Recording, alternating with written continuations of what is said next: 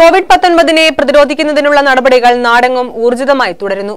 വിദേശത്തു നിന്നും വന്നവരെ നിരീക്ഷിക്കുകയും പൊതുജനങ്ങൾക്ക് ബോധവൽക്കരണം നൽകുകയും ചെയ്യുന്നുണ്ട്.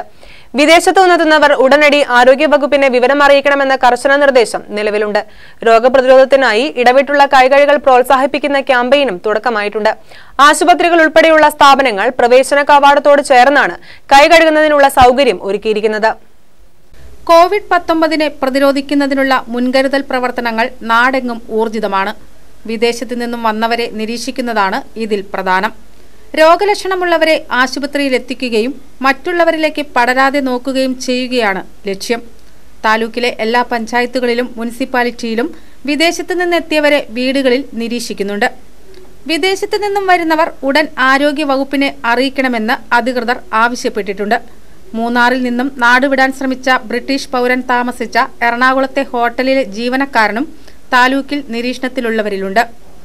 കോതമംഗലം മുനിസിപ്പാലിറ്റിയിൽ അറുപതിലേറെ പേരാണ് നിരീക്ഷണത്തിലുള്ളത്.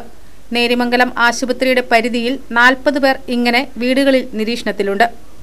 കോവിഡ് നയന്റീൻ പ്രതിരോധ പ്രവർത്തനങ്ങളുടെ ഭാഗമായി നേരിമംഗലം സാമൂഹിക കേന്ദ്രത്തിന്റെ കീഴിൽ നാൽപ്പത് വിദേശത്ത് നിന്ന വ്യക്തികളെ നമ്മൾ ഹോസ് ക്വാറന്റൈനിൽ വെച്ചിട്ടുണ്ട്. നമ്മൾ ദിവസവും അവരെ ഫോണിൽ വിളിച്ച് അവരുടെ രോഗവിവരങ്ങൾ അന്വേഷിക്കുകയും അവർക്ക് നിലവിൽ ഇതുവരെ ആർക്കും രോഗലക്ഷണങ്ങൾ ഇല്ലാതെ ഇല്ല. ഇനിയിപ്പോൾ നമ്മൾ എല്ലാ ദിവസവും അങ്ങനെ വിളിച്ച് അന്വേഷിച്ച് എന്തെങ്കിലും രോഗലക്ഷണം ഉണ്ടെങ്കിൽ അതനുസരിച്ച് നമ്മൾ അടുത്ത നിർദ്ദേശം അനുസരിച്ചുള്ള കാര്യങ്ങൾ ചെയ്യും. പിന്നെ നമുക്ക് ഇവിടെ ആശുപത്രിയിൽ രോഗികൾ കൂട്ടം കൂടാതിരിക്കാനുള്ള മാർഗനിർദ്ദേശങ്ങൾ നമ്മൾ കൊടുത്തിട്ടുണ്ട്. രോഗപ്രതിരോധത്തിന് വ്യക്തി ശുചിത്വം പ്രധാന ഘടകമാണ്. ഈ സാഹചര്യത്തിലാണ് കൈകഴുകലിന് പ്രചാരം നൽകാൻ ബ്രേക്ക് ദ ചെയിൻ എന്ന പേരിൽ സർക്കാർ പ്രത്യേക ക്യാമ്പയിൻ പ്രഖ്യാപിച്ചിരിക്കുന്നത്. ഇടവിട്ടുള്ള സമയങ്ങളിൽ സോപ്പ് ഉപയോഗിച്ച് കൈ കഴുകണമെന്ന് ആരോഗ്യ പ്രവർത്തകർ പറയുന്നു. ക്യാമ്പയിന്റെ ഭാഗമായി ആശുപത്രികളുടെയും സ്ഥാപനങ്ങളുടെയും കവാടങ്ങളിൽ കൈ കഴുകുന്നതിനുള്ള സൗകര്യം ഏർപ്പെടുത്തുന്നുണ്ട്. കൈ കഴുകേണ്ട രീതിയെക്കുറിച്ചും വ്യാപകമായ പ്രചാരണം ആരംഭിച്ചിട്ടുണ്ട്. രേഖാചിത്രങ്ങൾ പ്രദർശിപ്പിച്ചും ക്ലാസ് എടുത്തുമെല്ലാമാണ് ബോധവൽക്കരണം.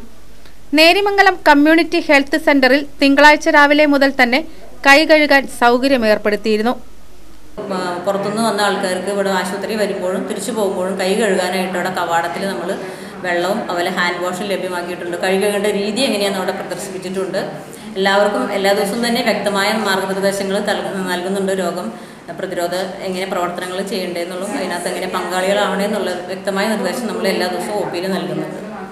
ഊന്നുകൽ ജനമൈത്രി പോലീസ് പൊതുജനങ്ങളെ ബോധവൽക്കരിക്കാൻ പ്രധാന കേന്ദ്രങ്ങളിൽ ബോർഡുകൾ സ്ഥാപിച്ചു. കോവിഡ് വൈറസിനെ പ്രതിരോധിക്കാൻ സ്വീകരിക്കേണ്ട മാർഗനിർദ്ദേശങ്ങളാണ് ബോർഡിലുള്ളത്. സി പി ഒമാരായ നിസാർ ബുഷറ എന്നിവർ നേതൃത്വം നൽകി. K C V news Kothamangalam.